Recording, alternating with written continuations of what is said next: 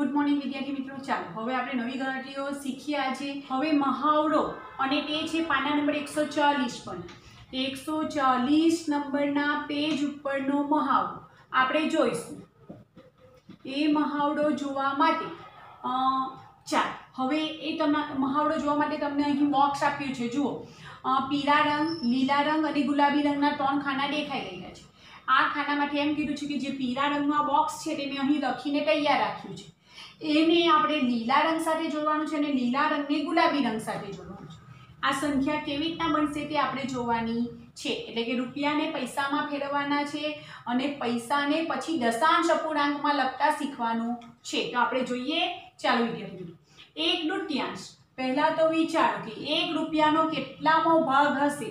તો એક રૂપિયાના બે ભાગ કયા હશે? આવું હશે? એક રૂપિયાના બે ભાગ કયા હશે? એટલે કે એક દૃત્યાંશ એટલે કે એક રૂપિયાના બે ભાગ.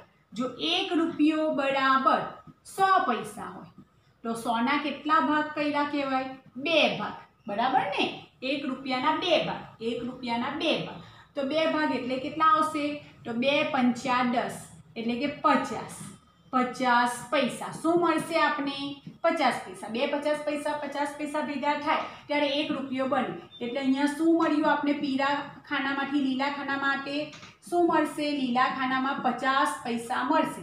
અને તે તમારો એક, બે, ત્રણ, ચાર, ચોથા નંબરના ક્રમ સાથે જોડાયો આપણો. હે ને? ચોથા નંબર સાથે જોડાય છે. પચાસ પૈસા. ચાલો, હવે એને જ આપણે બાજુવાળા સાથે જોડીએ. પચાસ પૈસા. એટલે પચાસ પૈસાને આપણે દશાંશ અપૂર્ણાંકમાં કેવી રીતના લખીએ? તો પચાસ પૈસા. એટલે કે એક રૂપિયો પૂરેપૂરો નથી. એક રૂપિયામાં પચાસ પૈસા છે. એટલે કે જીરો પોઈન્ટ પચાસ પૈસા કહેવાશે. એટલે અહીં લખીશું આપણે જીરો પોઈન્ટ પચાસ. અને એ છે કયા નંબર પર તમને કહો બીજા નંબર પર. ઓકે?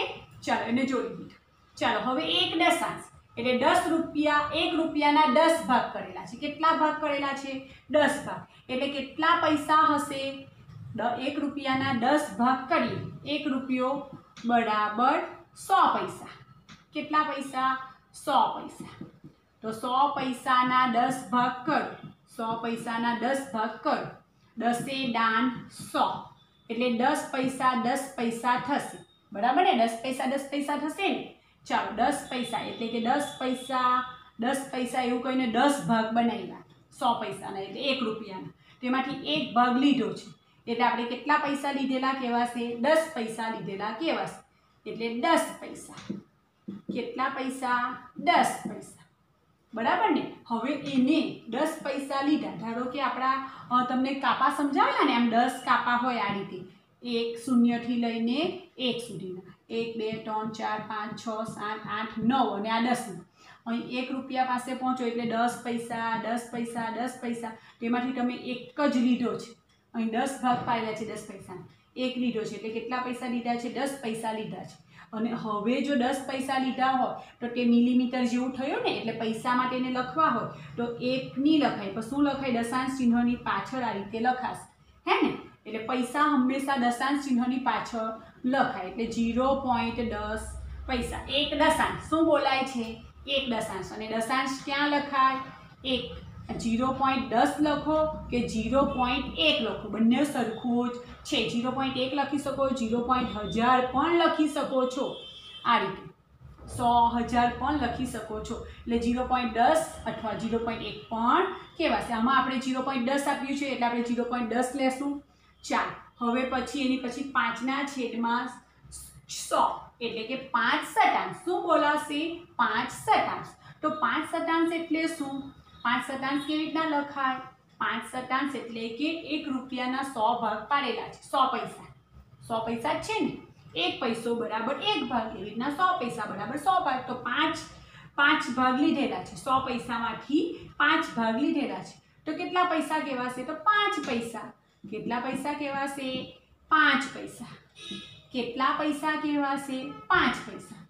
બરાબર ને? પાંચ પૈસા કહેવાશે. હવે પાંચ પૈસાને આપણે દશાંશ અપૂર્ણાંકમાં કેવી રીતે લખાય તો આમાં જ જોવાનું. પાંચ સતાંશ બોલાય છે. એટલે દશાંશ ચિહ્નની પાછળ સતાંશ ક્યાં આવે? તો દશાંશ પછી સતાંશ. એટલે દશાંશમાં કશું નથી, એટલે શૂન્ય અને પછી સતાંશ. અને એકમમાં પણ કશું નથી. એટલે આ રીતે થશે. પાંચ સતાંશ. એટલે આ રીતે થયું પાંચ સતાંશ. અહીંયા દશાંશ અને આ સતાંશ.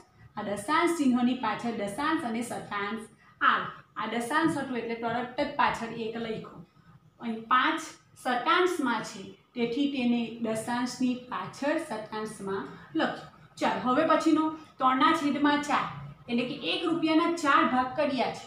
એક રૂપિયાના કેટલા ભાગ કર્યા? ચાર ભાગ એટલે કે સો પૈસા હતા, બરાબર? સો પૈસા. એક રૂપિયો બરાબર કેટલા પૈસા છે?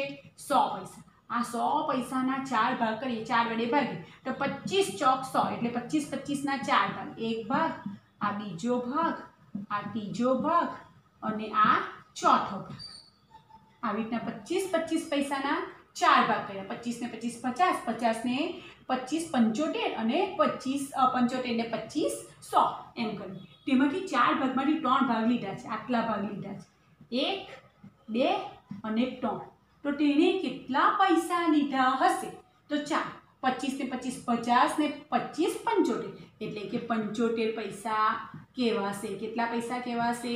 પંચોતેર પૈસા. હવે આ પંચોતેર પૈસાને તમે દશાંશ અપૂર્ણાંકમાં કેવી રીતના લખશો? એક રૂપિયો હોય તો આટલે ગાડી આવી જાય, ડાયરેક્ટ એકમના સ્થાન પણ અહીં હજુ પૈસા જ છે, એટલે દશાંશ ચિહ્નની પાછળ પંચોતેર પૈસા. આવું લખાશે. પૈસા પાછળ લખાય, રૂપિયા આગળ લખાય. એટલે દશાંશ ચિહ્નની પાછળ પંચોતેર પૈસા. આવી રીતના લખાશે. ચાલો, હવે આગળ. ત્રણ ચતુર્થાંશ રૂપિયા. બે વાર લખાયું છે, આપણે એકવાર કમ્પ્લીટ કર્યું. હવે આપણે આગળ જોઈએ. નવ્વાણુંના છેદમાં સો. અહીંયા લઈ લઉં છું. નવ્વાણુંના છેદમાં સો. ચાર એટલે કે એક રૂપિયાના સો ભાગ પાડ્યા છે. તેમાંથી નવ્વાણું લીધા છે. એક એક ભાગને એક પૈસો કહેવાય. બરાબર ને? તો નવ્વાણું ભાગને નવ્વાણું પૈસા કહેવાશે.